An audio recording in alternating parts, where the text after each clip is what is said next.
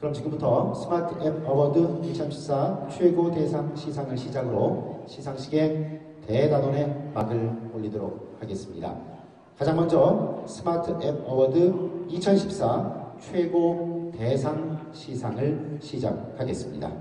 스마트 앱 어워드는 한 해 동안 새로 개발되거나 업데이트된 애플리케이션들을 대상으로 국내를 대표하는 인터넷 전문가 평가위원단이 심사한 결과에 따라 가장 혁신적이고 우수한 성과를 이룬 앱들을 선정해 시상하는 우수 스마트 앱 평가 시상 행사입니다.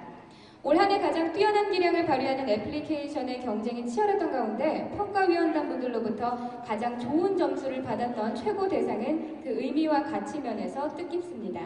최고 대상 시상은 한국인터넷 전문가협회 김진수 협회장께서 직접 해 주시겠습니다. 자, 무대 위로 모시겠습니다. 다시 한번 따뜻한 박수로 맞이해 주시기 바랍니다.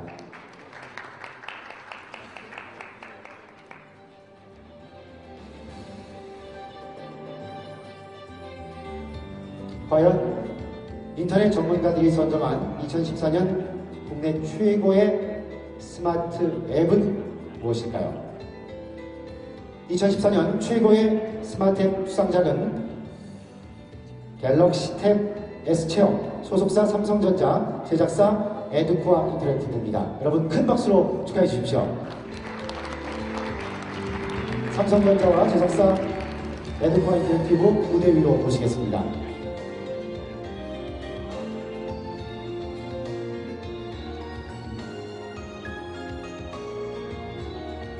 올해 스마트 앱 최고 대상 수상자입니다. 먼저 수상기관 삼성전자에게 시상하겠습니다. 스마트 앱 최고 대상 갤럭시 탭 S 체험 수상기관 삼성전자 비상은 사단법인 한국인터넷전문가협회에서 주최하고 스마트 앱 어워드 위원회가 주관하는 스마트 앱 어워드 2014 대한민국 앱 이노베이션 대상 시상식에서 가장 혁신적이고 우수한 인터넷 서비스로 인정받아 위와 같이 수상하였기에 그 영예와 성과를 기리어 본상을 수여합니다. 사단법인 한국인터넷전문가협회 협회장 김진수 대독 축하드립니다. 축하합니다. 다음은 에듀코아 인터랙티브에 대한 시상 이어가겠습니다.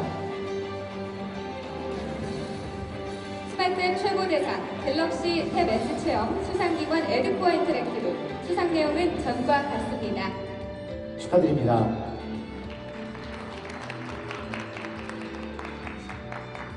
부상도 함께 받아주시고요.